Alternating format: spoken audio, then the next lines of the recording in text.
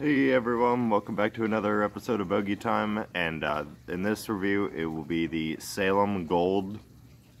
Um, Salem is a uh, menthol brand uh, cigarette. Uh, these come in hundreds and shorts, or uh, king sized, and uh, these come in full flavors, as in like the the the strong menthol, the green box, and the golds, and then the ultralights, or which are the silver boxes or, or gray boxes. Um, but uh, yeah, opening. Uh, I like the pack design. Uh, I prefer the green one, um, but I do prefer this one over the ultralight box. The ultralight box looks pretty bland, in my opinion. But um, yeah, uh, taking the last cigarette out of the pack. Uh, there, it's now empty. Um, taking a look at the cigarette. Uh, green. Uh, Salem right here. And then the logo, the uh, like the uh, yin yang or something like that, right below the Salem. And then there's two silver bands going around the filter, uh, white filter, and one line of perforations, but the holes are pretty far spaced apart. So uh, we'll see how it affects. Uh, blend of the tobacco is a, a medium tone. Uh, dry pop yeah, um, it has a pretty nice sweetness to it uh, with a bit of menthol. Um, smells kind of piney, uh, in my opinion, uh, but it's very nice. Uh, I can definitely smell the menthol off of this. So, uh, without further ado, let's get this lit up.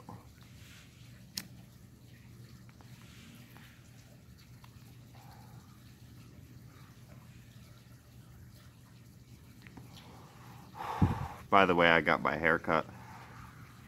So, uh, my head is freezing right now. I can't find my beanie.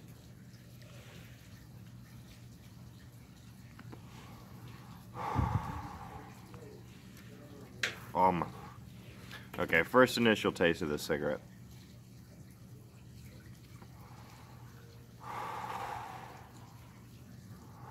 Okay. It has a lot of cooling like uh, a lot of the menthol taste coming through.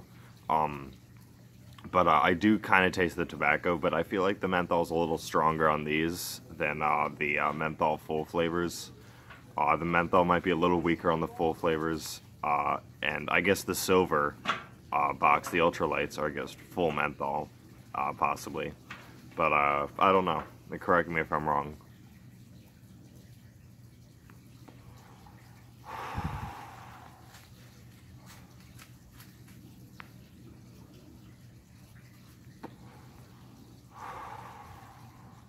Very, very smooth going down.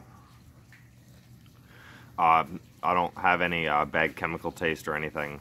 Um, I, I, get a bit of sweetness with uh, with uh, the tobacco, and uh, the menthol comes through really strong. Um, it's a little bit different menthol than I experience with most menthol cigarettes, actually.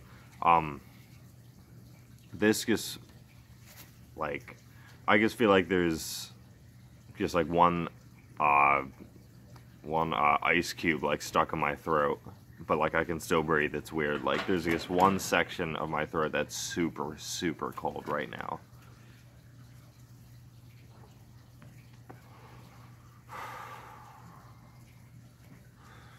Yeah, very unique menthol taste. Um, more icy. Um, it's not as like minty. It's more like an ice uh, sensation. Um, it's very nice.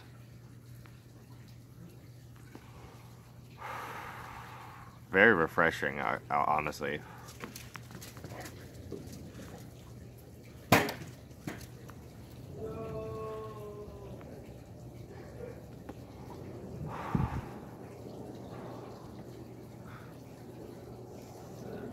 But, uh, yeah, uh, these taste very good.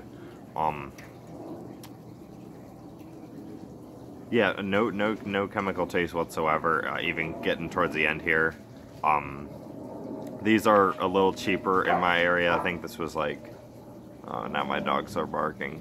Uh, I think this was like 750 even with tax. So um, uh, these are pretty cheap in my area at least.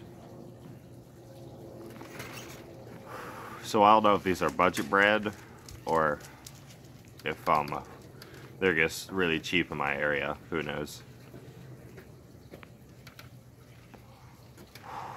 I also noticed that uh, this is not made by RJ Reynolds. Uh, this is uh, IGT Brands LCC Greensboro. So uh, yeah, very different company. Um, this has Asian menthol in it, if I'm not mistaken. Uh, I know on the old boxes it used to say it. Or the green box it says Asian menthol on it. Um, so I'm assuming this is a men this is an Asian cigarette uh, imported into here.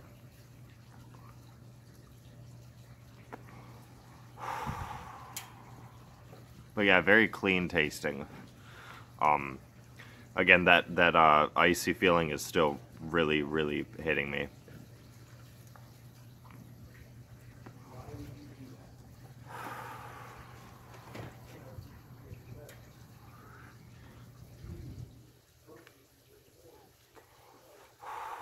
That's about done. I'm gonna put that out. Um, what would I give these out of 10? Uh, honestly, I give these probably 9, 9 out of 10. Uh, I wish the tobacco taste was a little stronger, uh, but uh, yeah, very nice. Uh, I love the menthol sensation on this, and it has a very unique taste to it. Um, if you're a menthol smoker and you haven't tried these, definitely go out and buy a pack of these. Um, uh, they're not expensive, at least in my area. Um, but yeah, very. Uh, I think this is this is uh, very good for uh, the price. Um, it for some reason it looks like a budget brand, but uh, I don't know. Um, but uh, would I buy a pack of these again? Probably. Not soon, but I, I can see myself buying a pack of these in the future. But yeah, that's been another episode of Boagie Time. Thank you guys so much for watching. I'll see you in the next time. Goodbye.